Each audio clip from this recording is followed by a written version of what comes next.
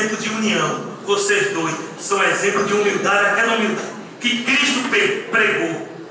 Que Cristo pregou. A humildade de Ana, que vocês sabem disso. E não é palavras bonitas aqui não a humildade de Sebastião Armário. Sebastião Armário, a tua terra vai receber você com muito amor de volta. Eu tenho certeza disso. E com muita saudade. E que vai ter você mais próximo. Você vai ser grande, mais ainda do que você é aqui no Ministério Público. Porque onde você chegar, você planta alguém, você faz a semente, a semente crescer. Assim também, Ana. Ana, teus filhos te orgulham, teu esposo, tenho certeza tua filha está todo esse momento orgulhosa de você, pela dignidade que você é, pelo trabalho que você fez e pela história que você e meu amigo Romário marcaram. Vocês marcaram uma história bela na cidade de Goiânia. Está aqui esse povo todo para te aplaudir. Gostaria de dizer a noite toda a falar que Goiânia é uma senhora gente, mas parabéns a meus irmãos promotores de justiça. Em nome do Ministério Público.